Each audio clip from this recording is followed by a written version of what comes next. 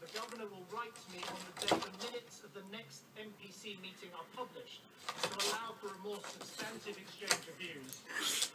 The new remit also recognises that the monetary policy What are you doing? may need to use unconventional monetary instruments to support the economy while keeping inflation stable. And it makes clear that the committee may wish to issue explicit forward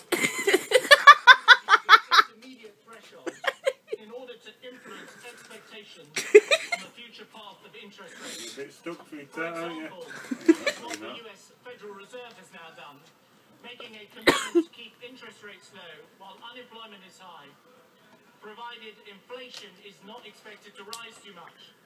This can help the economy because it gives families planning their futures and businesses wondering whether to invest, provided inflation is not expected to rise too much.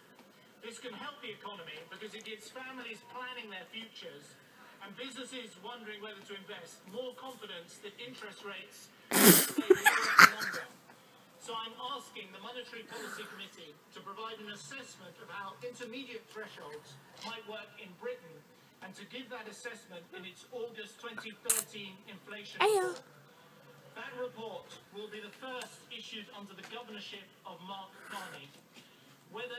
Intermediate thresholds are used will be an operational matter for the independent MPC, and I can confirm Mervyn King and Mark Carney have both seen the new remit and they have both uh, agreed to it. Mr Deputy Speaker, active monetary policy can only operate freely when securely anchored by credible fiscal policy. Only operate freely when securely anchored by credible fiscal policy.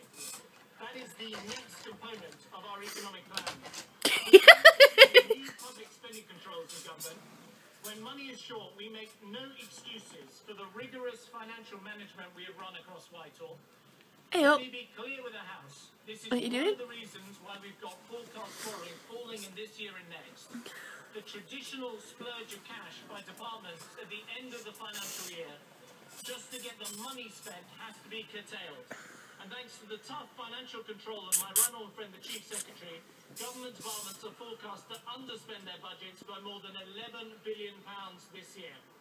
If you want to bring borrowing down, then you have to control spending, and this is what we have done. Now, we want to ensure departments have budgets that are more closely